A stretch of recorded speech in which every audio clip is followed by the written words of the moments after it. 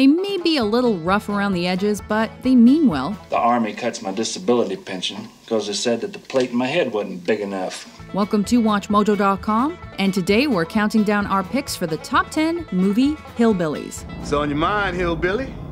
What was I thinking about? Oh, yeah, yeehaw, that's right.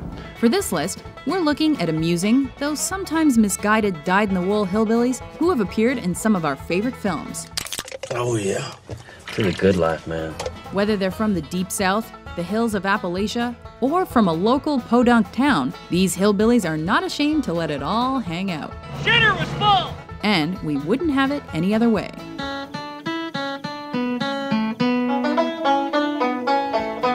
Number 10, Bobby Boucher, the water boy.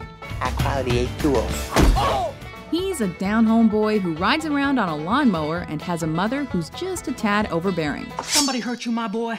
Who hurt you? Growing up in the Cajun wilds of Louisiana, he's no stranger to gators and swamps. Mama says that alligators are ornery because they got all them teeth but no toothbrush.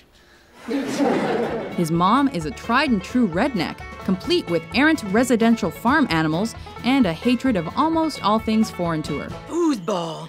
You playing the foosball behind my back? That doesn't stop Bobby from moving up in the world of football, however, and getting the girl in the end. What's gonna happen tonight? You'll see. You can do it! You can do it all night long! Number 9. Russell Casse, Independence Day. Just want you to know that uh, I won't let you down. This good old boy was known for a couple of things before the aliens invaded being an alcoholic crop duster and being a less than stellar father figure. Are you sure? While he's off drinking and regaling the town with tales of his alien abduction years earlier, his three children are tasked with raising themselves. I'm still your father. No, you're not. You're just the man who married my mother. He does get the chance to redeem himself in the end by sacrificing his life to take out an alien destroyer. So there's that. All right, you alien assholes! In the words of my generation, up yours! Number 8. Burt Gummer, Tremors. Some kind of mutation. What's a redneck without some firepower? This particular hillbilly hero has a massive arsenal that would make most small armies jealous. It's a hobby that comes in handy when subterranean monsters with a taste for human blood come a calling. Broke into the wrong goddamn rec room, didn't you, you bastard? It's also another hat tip to the hillbillies that his character's wife is played by Reba McEntire, who might as well be the queen of lovable rustic folk. Y'all gonna have to take something packs more of a punch than that 30-30. Won't you take one of our Browning autos? Number 7. Cousin Eddie, National Lampoon's Vacation franchise. Yeah, I bet you could use a cool one, huh? Now you're talking. Does he look familiar to you? Ooh, boy. He's rude, he's crude, he's actually even a little bit gross.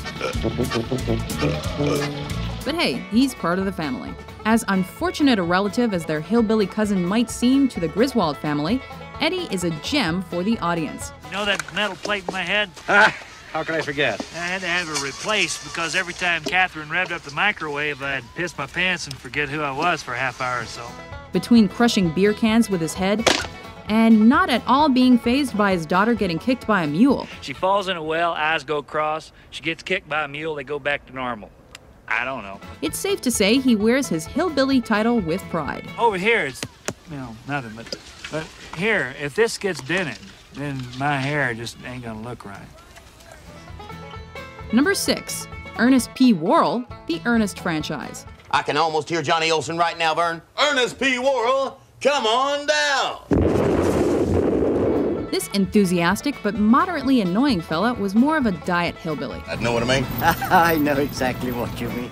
His permanent denim vest and trucker cap ensemble were definitely evocative of the redneck aesthetic. Yeah, when they hired me as sanitary engineer, they had no idea that I was actually Ernest P. Worrell, man of destiny, ruler of refuse, a man who has taken dominion over his environment. But you could tell he was just a little bit cityfied. Too smart for you, huh? Plus, he was earning a living trying to sell us sodas and used cars. Well, come to think of it, maybe he was more of a hillbilly than we originally estimated. How about a bumper sandwich, booger lips?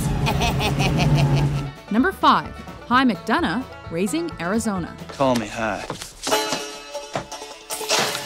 Although he's a repeat criminal offender who lives in a trailer in the boonies, he's not an unbearable backwoods felon. I've been taking these Huggies and uh, whatever cash you got. In fact, you're actually rooting for Hi and his ex prison guard wife, Ed, throughout the film. You can tell the two love each other, I do. You bet I do. Okay, then. and though they're made foolish through desperation, you can also tell that they would really love a kid. Kidnapping probably wasn't the best way to go about it, but you know, we all make mistakes. He's beautiful. Yeah, he's awful damn good. I think I got the best one. I bet they were all beautiful. All babies are beautiful. This one's awful damn good, though. Don't you cuss around him. Number 4. Tucker and Dale, Tucker and Dale versus Evil. You guys, uh, going camping?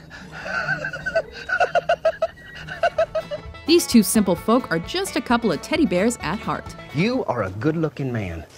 More or less. You got a damn good heart. Appearances can be deceiving, and though these two may look intimidating, they're really just trying to enjoy their simple life in the country. You got an inferiority complex. No, I don't. Yeah, yeah. Nope.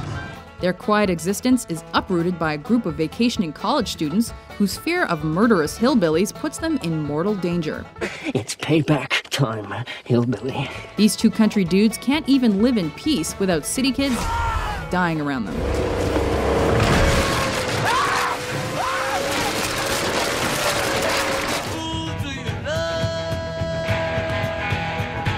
Number 3, Joe Dirt. I'm Joe Dirt! His mullet is the stuff of legend. Hey, Freak Boy, 1976 called. It wants its hairstyle back. While Joe may be a somewhat unflattering hillbilly archetype, he just wants to be happy. Is this queer? These queer? What's up? What's up? And for this lonely drifter, happiness comes through his crush Brandy and his hunt for the birth parents that forgot him at the Grand Canyon. So there I was. A lot of kids would have been scared, but I was all tough about it. He's an affable lout with unyielding optimism, which is probably why so many of the people he encounters gravitate towards him. I tell you what, buddy, I'm gonna give you a free spin. I'm gonna talk to your lady friend over there. How about that? Well, that and who doesn't like a good mullet? I was born without the top of my skull, and I guess a little bit of my brains was showing. It's grossing everybody out. So my mom put this wig on me to cover it up, and then the bones grew together. Number two, Ricky Bobby, Talladega Nights, The Ballad of Ricky Bobby. Hey, just want to share a little piece of personal information with you. I got a, a chubby right now because this is one of the most awesome experiences of my life because I'm getting a right now. I can't believe it. No one will ever accuse Mr. Bobby of being understated. Well, Dick, here's the deal. I'm the best there is, plain and simple. I mean, I wake up in the morning, I piss excellence. In fact, he's a loud, self assured man who just wants to go fast. And as a top NASCAR racer, he's living the hillbilly dream.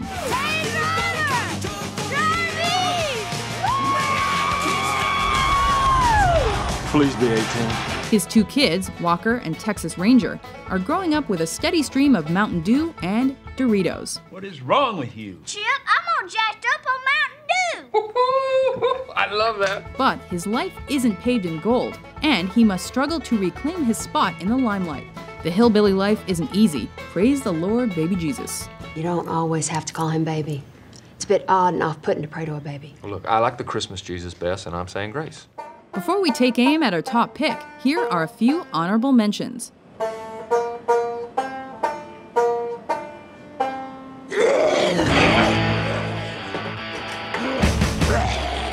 You got a purty mouth. He's gonna be ready to race hell. Like he ain't gonna show up like, hey guys. He's gonna show up going, woo! And we're gonna be like right on. 16 years in hell. Brian, you've got to be kidding me. Look at them. They look like Okies. Oh, Jesus, Early. They look kind of weird. Have you boys accepted Jesus as your Lord and Savior? Yes. Yeah, yeah, he's great. Cool guy. Praise the Lord and pass the ammunition. Name's Randy, but everybody calls him Freak Show. Come on, come on, come on. Ah, I forgot about the brother. Number one, the Clampetts, the Beverly Hillbillies. We doggies. They may very well be everyone's favorite fish out of water hillbillies. After striking oil on their property, the Clampetts become overnight billionaires and move on up to Beverly Hills. Oil, that is. Black gold. Texas tea. Watch your head, Granny. In spite of their vast riches, they stay true to their down home nature, never deviating too far from the permanent denim and dilapidated jalopy. And even when they find themselves in the middle of a scheme that threatens their wealth, it ain't nothing a good shotgun blast can't fix. That's real nice, son. This here's what I carry.